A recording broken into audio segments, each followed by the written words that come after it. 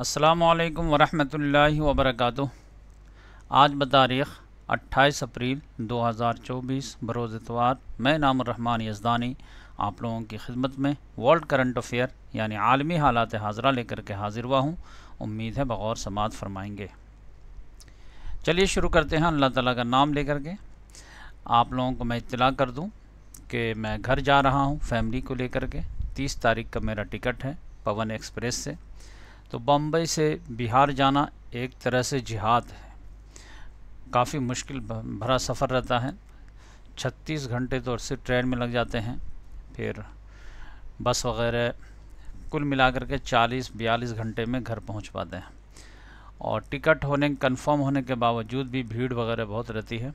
तो उसके लिए जो है भरपूर मेंटली तैयारी के साथ जाना पड़ता है। और बच्चे भी काफ़ी हैं, सामान भी है। तो उस लिहाज से मैं तैयारी कर रहा हूँ और दो तीन दिन में तो पहुँचूँगा ही और एक दो दिन आराम करूँगा। उसके बाद जो है आप लोगों से मुखातब होऊँगा वर्ल्ड करंट अफेयर और समझिए कि फिर मेरा इरादा है कि दस दिन में मैं वापस आ जाऊँगा, बच्चे लोग वहीं रहेंगे, अगर हालात सब नॉर्मल रहे तो। तो ये समझिए कि दस बारह रोज़ जो है थोड़ा सा डिस्टर्ब रहेगा। तो ये समझिए कि मेरी गर्मी की छुट्टी है, साल में मैं जो है छुट्टी लूँगा। तो ये गर्मी की छुट्टी मैं मना रहा हूँ। लेकिन इसमें यह है कि मैं स्टडी जो है, वो ज़ोर शोर से जारी और सारी रखे हुआ हूँ। और अल्हम्दुलिल्लाह मैं जो है, ये अभी भी 12-15 घंटा स्टडी करता हूँ। लेकिन अभी मेरा जो टॉपिक है, वो है, एक तो गज़ा है और अभी करंट में जो है, इंडियन पॉलिटिक्स है ख़ास तौर से इलेक्शन। तो गज़ा के हालात तो जो हैं सो हैं, आप जानते हैं। और एक तरह से इनकलाब आ रहा है अमेरिका के ज़रिए से, वहाँ की यूनिवर्सिटियों के ज़रिए से। और अब तो मिडिल ईस्ट की भी यूनिवर्सिटी में भी जो है, नौजवान खड़े होना शुरू हो गए। अब देखिए कि ये पाकिस्तान, हिंदुस्तान वगैरह के नौजवान कब खड़े होते हैं। लेकिन हिंदुस्तान के बारे में जो है, आपके सामने मैं रिपोर्ट करके हाजिर हुआ हूँ कि मेरा अंदाज़ा अब ये लग रहा है, दो फेस के बाद कि बीजेपी की सरकार जाने वाली है और इंडिया अलायंस की सरकार आने वाली है। ये समझिए कि एक लफ्ज़ में अगर बोला जाए तो। अब यह है कि बीजेपी कितना नीचे जाएगी और इंडिया अलायंस कितना ऊपर आएगी, ये कहना जो है थोड़ा मुश्किल है। थर्ड फ़ेज़ के बाद मैं कह पाऊँगा आपको। अभी मैं तो ज़्यादा ज़्यादा ये कहता था कि मोदी की गवर्नमेंट नहीं जाएगी। इससे पहले जो मैं वीडियो बनाया था कि मोदी का जाना तय है। अब मैं आज कह रहा हूँ कि बीजेपी का जाना भी तय है।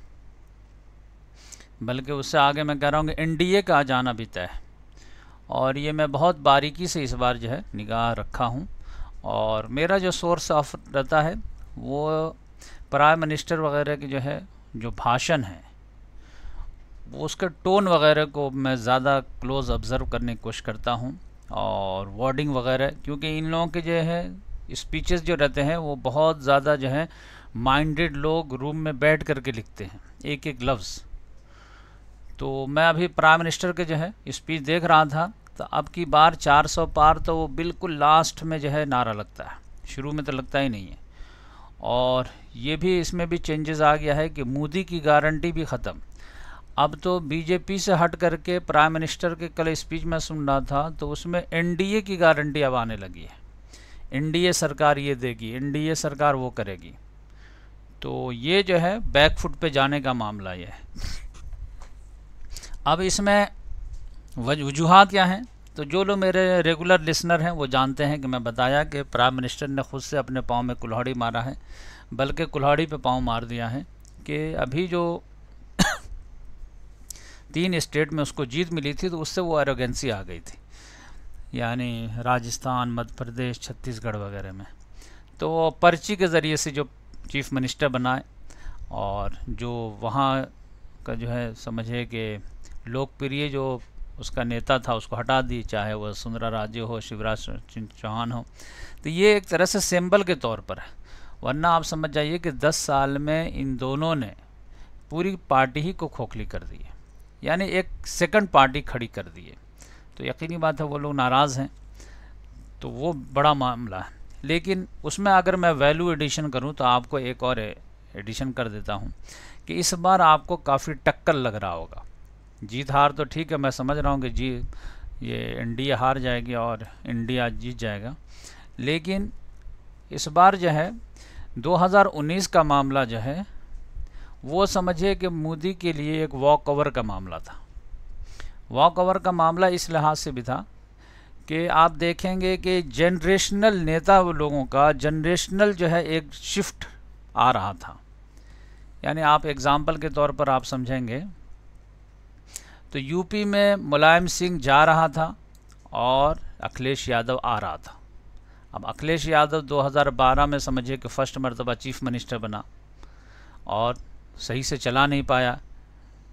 यंग था बिल्कुल। और समझिए कि 2017 में हार गया। अब उस सदमे से वो निकल ही नहीं पाया था कि 2019 का आ गया।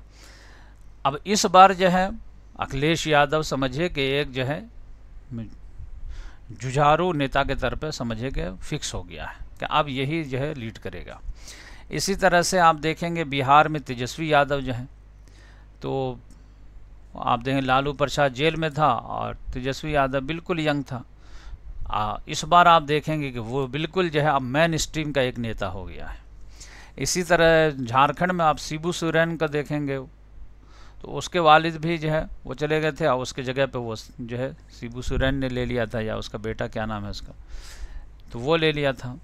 इसी तरह राहुल गांधी भी जो है अब वो बिल्कुल जो है सोनिया गांधी समझिए कि एक तरह से रिटायरमेंट की तरफ़ है और अब जो है राहुल गांधी बिल्कुल जो है फिक्स जो है, अभी नई जनरेशन को लीड करने के लिए, इसी तरह प्रियंका गांधी भी जो है, वो यहाँ पर आ गए हैं।